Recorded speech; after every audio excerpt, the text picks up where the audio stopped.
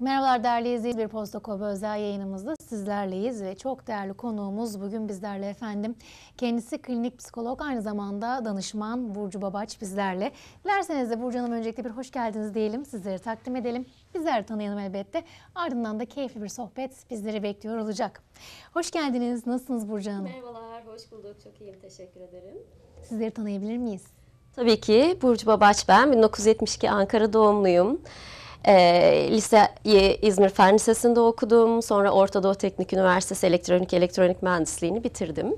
E, 20 yıl boyunca telekom sektöründe bir fiil çeşitli pozisyonlarda buna yöneticilikte dahil ki başlığımız o olmadığı için bugün o kısmının detayından çok bahsetmemekle beraber e, böyle bir geçmişim var ama bugün sizin karşınızda bu sohbeti e, klinik psikolog ve danışman olarak yapıyorum. Çünkü aynı zamanda klinik psikoloji yüksek lisansımı yaptım, e, danışmanlık veriyorum. E, bununla ilgili işler yapıyorum son 6 yıldır. Şahane. Son 6 yıldır farklı bir alanda ilerlemek. Son zamanlarda evet çok sık duyduğumuz bir alan. E, klinik psikolog, danışman, bu anlamda eğitimler, seminerler, danışmanlık, bilgiler. Peki buraya yönlenmenizin sizi şöyle bir 6 yıl geriye götürecek olursam sebebi neydi? Buluşma hikayeniz nedir? Aslına bakarsanız bunun için 6 yıl değil ta 2003'e gitmemiz gerekiyor. Ee, niye diyeceksiniz? Çünkü 2003 yılında başlayan bir yolculuğun devamı bu son 6 yıl önceki e, yol değişikliği diyeyim görüntüdeki. Ee, ben 2003 e, yılında kendimi geliştirmek, kendi kişisel gelişimim, kendimi bulma yolculuğunda başladığım bir yolun devamında e, evet artık ben bunu yapmak istiyorum. Bunu benden isteyen insanlar da var. Benim gösterecek, anlatacak başka bir şeylerim var diyerek başlanan bir yol aslına bakarsanız. E, ee, 2003'ten bu yana sertifikalar, eğitimler, kendimi geliştirme çalışmaları ile devam edip sonrasında da işte eğitim hayatına da bir yüksek lisans katarak akan bir yolun içinde oldu bu yönlenme. Aslında uzun yıllara dayanıyor diyebilirim. Öyleyse hocam bu alandaki çalışmalarınızdan bizleri biraz bilgi sahibi olabilir miyiz, söyleyebilir misiniz? Tabii ki seve seve iki başlık altında toplayabiliriz aslına bakarsanız. Bireysel çalışmalar ve kurumsal çalışmalar olarak biraz ayrıntılı anlatayım arzu ederseniz. Ee, bireysel çalışmalar adı üstünde bireysel kişilerle baş başa yaptığımız bir yolculuk. Ee, bu kapsamda bireysel birebir danışmanlık e, seansları ve çalışmaları yapıyorum. Ha, bunların içeriği nedir diyecek olursanız. E, kimi kişi kendi potansiyeline ulaşmak adına daha pozitif dışarıdan bakan, daha nötr bakan birine ihtiyaç duyabiliyor. Bu yolda onun önündeki engelleri kaldırmak için onu istediği hedeflere, kendi hayatındaki ki tırnak işareti içinde bu her şey olabilir. Ben daha mutlu olmak istiyorumdan ben kariyerimde daha ileriye gitmek istiyorum ama varana kadar. Ee, bunlarla ilgili yol arkadaşlığı yapıyorum ya da ee, biraz metaforik açıklayacak olursak insanız hepimiz bazen kendimizi bir labirentin içinde kaybolmuş gibi hissedebiliyoruz. Duygularımızda, düşüncelerimizde. Ee, bu tip durumlarda da e, sonuçta ben o kişiyle beraber bir yolu arkadaşlığınla o labirentten onun çıkmasına yardımcı oluyorum. Ki bu nasıl oluyor? Birincisi o hayatı ben yaşamıyorum. Tamamıyla nötrüm ve dışarıdan bakabiliyorum. Yani boyum biraz daha uzun. Onun gördüğünden daha fazlasını görebiliyorum onun içinde. Ve tabii bir de hani bunca yıllık bu bahsettiğim sertifikalar, eğitimler, bilgi birikimlerinin naçizane bir el fenerine benzetecek olursak yolu da ışıklandıracak biraz bir e, elimde araç var diyelim. E, bununla birlikte bir yolculuğa çıkıp amaç da beraber yola çıktığımız kişiyi o labirentten çıkarmayı hedefleyecek çalışmalar yapıyoruz. E, bunun dışında bireysel atölyeler yapıyorum zaman zaman. Ee, bunlar da gene o grup enerjisiyle birlikte kişilerin kendi içlerine bakmalarını, biraz o hani hayatın karmaşasından sıyrılıp daha steril bir ortamda kendileriyle baş başa kalmalarını, bir görmelerini sağlama amaçlı böyle farkındalık atölyeleri. Tabii ki bu bireysel seanslar kadar detaylı ya da çözüme ulaştırıcı olmuyor, orası kesin. Ama en azından kişilere o yarattığı alanla bir farklı bakış açısı kazandırmaya başlıyor. O yüzden ben açıkçası çok seviyorum aslına bakarsanız bireysel atölyeleri. O anlamda başlangıç olması adına. Ee, bir de bireysel sertifikalı eğitimler verebiliyorum. Ee, ben ileri düzey pranik e, şifa uzmanıyım. Bu e, bir e, Japon tıbbının uzantısı olan bir şeydir. Pranik enerji deriz biz ona. Onun temel seviye öğretmenim uluslararası sertifikalı bir eğitimimiz var. Bu da gene kişilerin kendilerini daha sağlıklı yaşamalarına yardımcı olma amaçlı e, bir sertifikasyon eğitimi. Bunlar bireysel taraf. E, kurumsal tarafa gelince orası tabii e, bütün aslına bakarsanız 26 yıllık kariyer hayatımın o bilgi birikiminin, eğitimlerinin, işte mühendisliğimin, psikologluğumun, her şeyin, diğerlerinin, kendi kişisel gelişimimin karması olan bir çalışma. Ee, bu çalışmada şöyle bir şey var, çalışan verimliliğini arttırırsanız diyoruz, müşteriniz mutlu olur, siz daha iyi kazanmaya başlarsınız. Bunu neye dayanarak söylüyoruz? Gallup'un bir araştırması var. Çalışan verimliliğinin e, daha yüksek olduğu şirketlerde şirket karının diğer şirketlere oranla yüzde 16'ya yakın daha fazla olduğu tespit edilmiş. Yani dolayısıyla çalışan mutluluğu, çalışanın verimini beraber getirdiğinde e, adanmışlık artıyor, bağlılık artıyor, motivasyon artıyor. E, ve bu da tabii neye yol açıyor? O şirketin aslında iş verimliliğin artmasına, dolayısıyla az kaynakla bazen çok daha doğru ve daha fazla iş yapmasına ve dolayısıyla da karlılığının artmasına sebep oluyor. Bunu niye özellikle vurguladım? Çünkü böyle kriz anlarında genel olarak eğilim her zaman biraz çalışandan dolayı maliyeti kısmaktır. Ee, ama ben bunu diyorum ki hayır böyle olmak zorunda değil. En önemli kaynak insan kaynağıdır. Her koşulda. Bununla ilgili çalışmalar yapıyorum. Bunu neye dayanarak yapıyorum? Dediğim gibi yani 26 yıllık bir e, tecrübeden bahsediyoruz. Ben insanda yönettim, yönetildim de, beyaz yakalıyım, süreçleri biliyorum.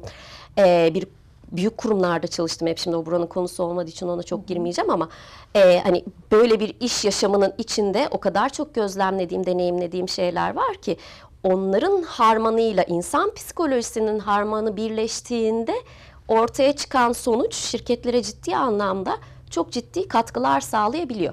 Kurumsal çalışmaların da başlıca temeli bu. Kurumsal danışmanlık dediğim bu bir süreçtir. Hedefleri bellidir.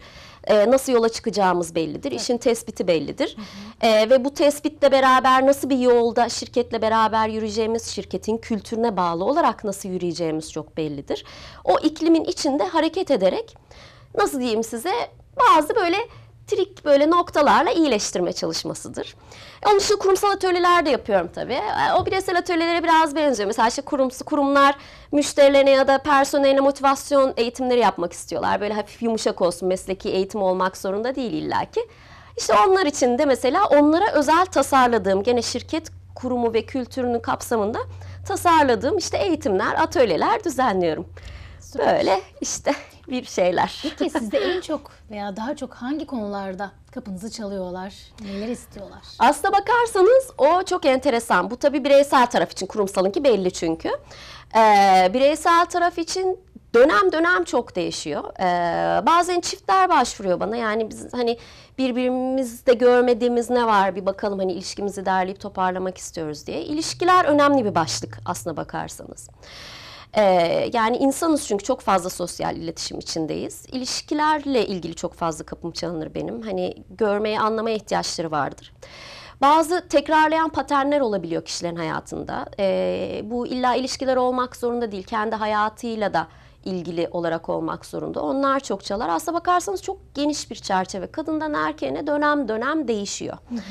Ee, önemli olan e, tabii kişinin hayatını daha iyi nasıl yaşamak istediğini bulmak. Çünkü hayatın içinde bazen kendimiz içindeyken ki buna ben bile dahilim. Niye ben bile diyorum sözde hani ben bunları bilen bir insan olduğum için. E, ama bazen yaşarken o boyumuzu yükseltemediğimiz için bir körlük oluşuyor göremiyoruz. Bunun içinde kendi görmediğimiz kalıplar geliştirebiliyoruz, yargılar geliştirebiliyoruz ve farkına varmadan aslına bakarsanız bir anda dışarıdan olmuşçasına gözüken bir şey bizden çok net kaynaklanmış oluyor.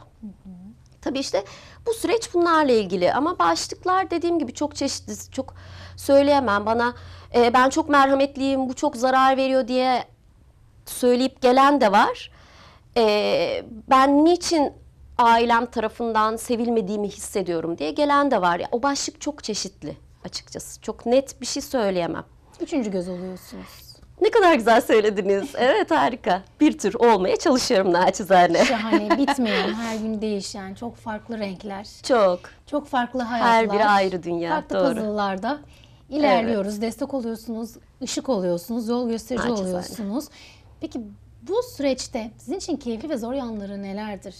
Bambaşka enerjiler. Bir gün gelir o anda kendimize deriz yani tabiri caizse tahammül edemiyorum. Ya kendi sıkıntılarım farklı. Bir de onların dünyasına inebilmek, empati yapabilmek. Bu süreçler nasıl ilerliyor sizin açınızdan? E, aslına bakarsanız şöyle, e, tabii ki çok keyifli ve çok zor yanları var. Birincisi hepimiz insanız. E, hepimizin bir kalbi var. Dinlediğimiz şeylerin bizi etkileme olasılığı tabii ki doğal olarak çok yüksek. E, ben de taştan değilim doğal olarak. Ama buradaki odağı şurada tutmak çok önemli. Ben bunu birazcık mühendis olan rasyonel tarafıma teşekkür ediyorum bunun için. Benim için orada önemli olan o öykünün içine girerek orada o kişiyle birlikte yüzmeye çalışmak değil. Benim için orada önemli olan acaba bu öyküdeki o kişi adına ifade edilen sembol ne? Ben oradan neyi çıkarırsam e, bu kişinin onun üstüne basıp ilerlemesini sağlarım. Yani sonuca odaklandığım zaman ee, o zaman o zorlukları biraz daha başka bir kulakla dinlemeye başlıyorsunuz. Bir saniye evet bu öykü belki dinleyince bana bile dışarıdan çok üzücü. Evet ama bir dakika ben bu üzücülükte kalmamalıyım. O öykünün kişide yarattığı duygusal ya da düşünsel yıpranma her neyse benim bulmam gereken o dediğinizde o öykünün yarattığı kaostan çıkıyorsunuz. Ee, aslına bakarsanız bu zor tabii. Bu çünkü çok uzun yıllara dayanarak gelişti bende de. Yani bir tür kabuk oluşturdum. E, işin zor kısmı o ama keyifli kısmı da ne? Gelip gözlerindeki ışıltıyı gördüğümde Aa, ben fark ettim ki benim hayatımda bunlar bunlar değişmeye başladı. Bundan daha büyük bir keyif ya da ödül olamaz. Kurumlar için de aynı şekilde. Aa işte biz bu elemanımızı çıkarmayı düşünüyorduk ama ya çok değişti bambaşka bir insana döndüğü duymak. E, olağanüstü gerçekten. Bu işte hedeflediğiniz nokta nedir? Ee, ben bu işte neyi hedefliyorum diyecek olursanız bildiğim ve anlatmak istediğim şeyler var.